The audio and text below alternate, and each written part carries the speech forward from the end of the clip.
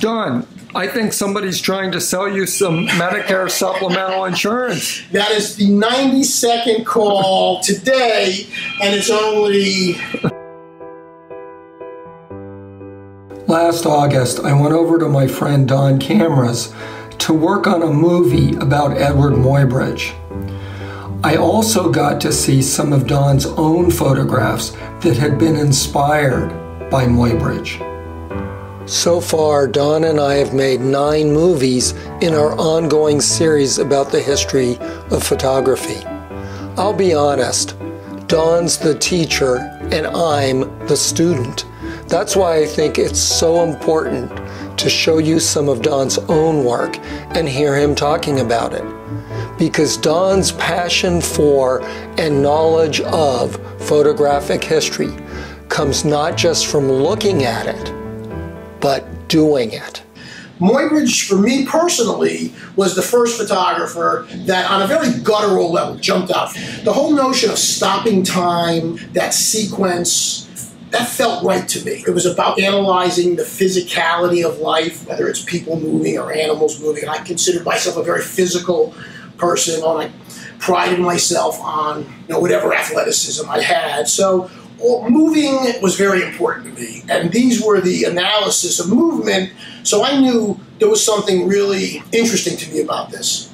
And where it first manifested itself was not stopping action, but to the contrary, the photographic blur, the uh, slow exposure, moving of the camera. I really got fascinated with that. And here's the two pictures that I took real early on that got me into it. I'm walking down Pine Street I see a doorway in an old stucco building. I set the camera for a quarter of a second, shutter speed, and I swirled it, as you can see, in a circular motion. You don't know what you're going to get until you develop the film. Sometimes I look at people doing digital photography and I think, oh, I would love to see the picture right away. But then that would take away the whole magic of seeing it later. And in this case, that's what this was all about. So here's this doorway at a quarter of a second swirl. I then set the camera to a one full second four times as long and swirled much slower. This is the product.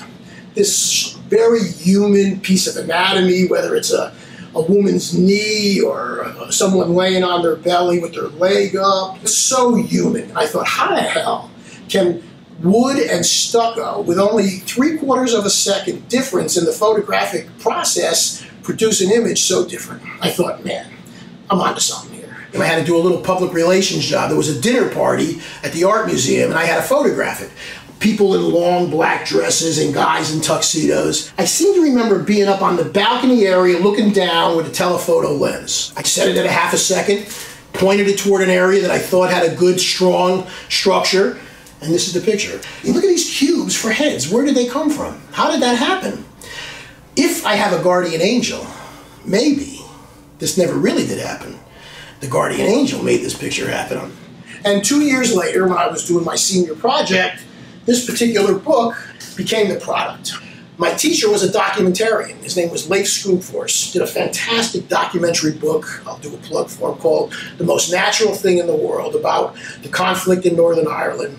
Went there for years, photographed both sides, powerful, powerful, powerful pictures.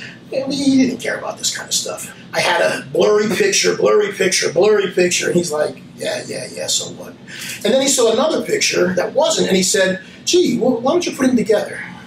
And I thought, what the hell is he talking about? They got nothing to do with one another. But then it, I thought about it, and it, what clicked was, hmm, maybe what he was telling me to take the same picture more than once from the same scene. And what's cubism? The same thing from many different angles. It's like, right, he's right. So I would photograph the same scene, a weeping willow tree. I'd shoot it still, and then I would blur the camera to the right, take another exposure, blur the camera to the left, and go in the dark room and create what are called multiple prints. So this particular image is maybe three different negatives combined in the dark room with a little burning and dodging. And it was a very fussy process, and I'm not a technical person. So I had mostly failures, failures, failures. But I continued for several months, and this became the product my one blurry mountain picture with the still clouds.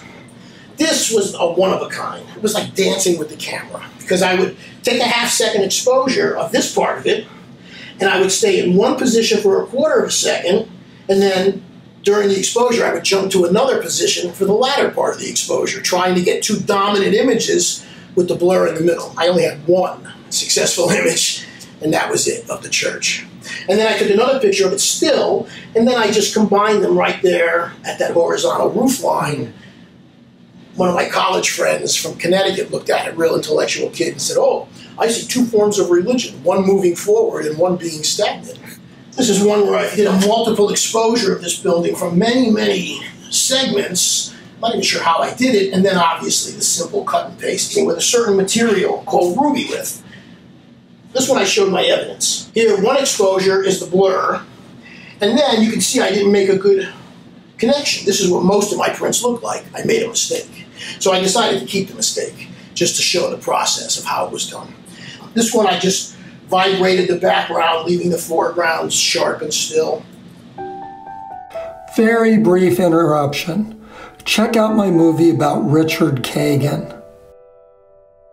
There is a visual similarity between Richard's blurred sacred Japanese shrines, created over the past decade, and Don's experimental images made back in 1975.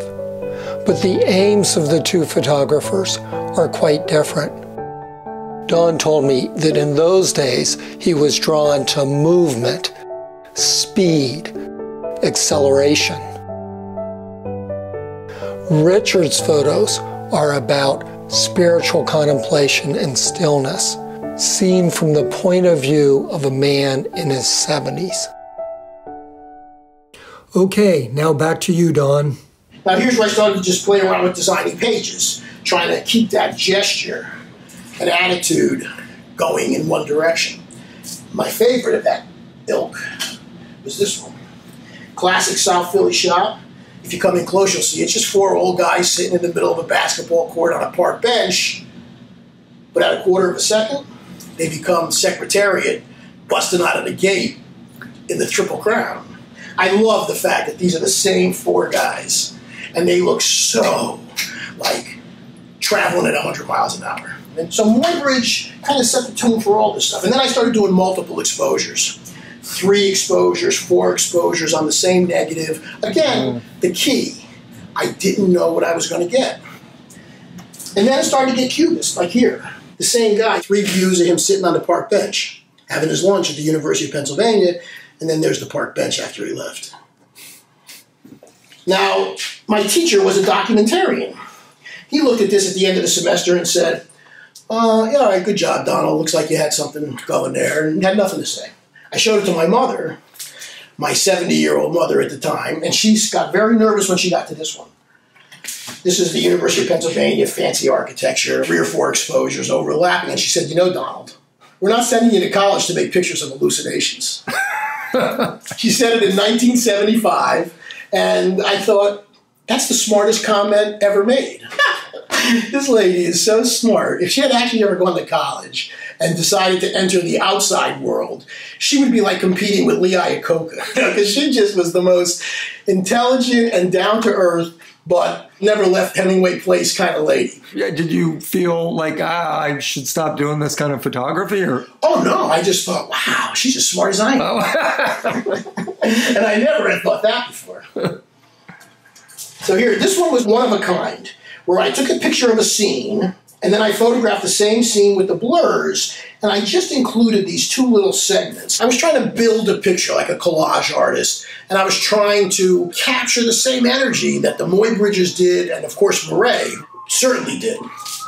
This is a statue that's on 7th and Pine. It's still there, but to this day, it's been broken so many times, it only has legs. It's completely gone. So here's how it went exposure, exposure. I got lucky that they were so aligned. And the third exposure, I blurred it. So it was kind of like up, up, and away. And this was a one of a kind or two. Probably the closest thing to a cubist picture, like truly abstract. What's the best thing that double exposes on itself? Darkness. So the way the shadows overlapped on one another was both a perfect way to experience uh, the double exposure because it's black on black on black, and you get to create you know the most abstract, unrealistic of shapes and forms. That one in particular reminds me a little bit of Ray Metzger. Certainly does. And I had at this point I knew who he was, and he was not my teacher sophomore year. He was the teacher to the other class. I got the documentarian guy. And I guess I was trying to be a little Ray at this point for sure. Hmm. Yeah. So anyway, this is what Muybridge gave to me in terms of the kind of inspiration his pictures connected in me. This book was a product of that. The final uh, chapter. Yeah, yeah. Uh, chapter's not good either. Okay, well, The- all right, I got it. Okay. So in terms of this idea that culminated in the book, after that, the pictures were around for the next six months. They were still on my mind, and I had this original picture that was in the book. It was a perfect situation for multiple exposures. A building was boarded up with plywood that was painted white, so it was perfect contrast, black on white. So you can see one, two, three, four exposures. I kind of knew what I was going to get this time because I had already been doing them for a while, and I knew I was building some sort of boxy construction. And I used to use a lot of razor blades, and I used to cut a lot of masks in those days. And I used to like the random cuts that were on my mask. So I would play with that. And I put the copy of the print, and I just started randomly slicing it to pieces after it had been dry mounted. I would establish a gesture. Oh, here's a diagonal area. And I would go like this. And I would just start slicing away diagonally. You're not looking. And where the four corners would meet, at some point, piece of photo would lift off. And then I selectively decided which ones to take away. So all these white shapes are a product of random cutting and then selection later as to which ones fit the composition best. This offended every photography person I ever showed it to. They were like, How could you cut your pictures up? Take a picture of it, you know? And I'm like, eh, That's not what it's about. But then I did take it to the final step with the same idea of putting down masks and having random slices all over them from the energy, this came out of it. Now, what this is, is three separate photographs in the kitchen where I used to live, looking down on a pile of dishes and a countertop, looking straight at it, and then looking at it again from this angle. And here's the floor. In every case, the floor will come up. And then I would put this negative in the enlarger, looking in that direction, lay a particular mask on it, and create one section of the picture. Then I would change the negatives to the straight on one, put that in there with a different mask on top of it, and then print that part of the picture. And then the third part from that angle with an even different mask print that. So in a way, this was as close as I came to being literally derivative of cubism. But I'm not doing anything new. I know that. It's the process that's going to be new. And that was part of the magic. It's the process that creates the blur. I don't create the blur. It's the silver and the light and the exposure and the chemicals. That's what makes that blur. I'm like the contractor that sends the workers to work. And then they do the work. And then I come home with the product after I pay them off. You know? So, in a way, this is almost the product of photography. And I, I hardly did anything except push the process into a certain direction. And in my opinion, that was a very important lesson to learn just about life in general, you know. I learn something new every time I go to Don's house. My friend's photographic practice is all about invention and experimenting with process. As far as my own process goes, each time I'm with Don, I look for new movie ideas. Here are two. Don and his wonderful Marcy have turned their South Philadelphia backyard into a garden of paradise and we will be making a film about Don's botanical photographs. And while Don is a modernist at heart, I am a classicist and love to tell stories. So if we can find Leif Skoogfors, Don's old photo teacher, we're going to make a movie about this amazing documentary photographer.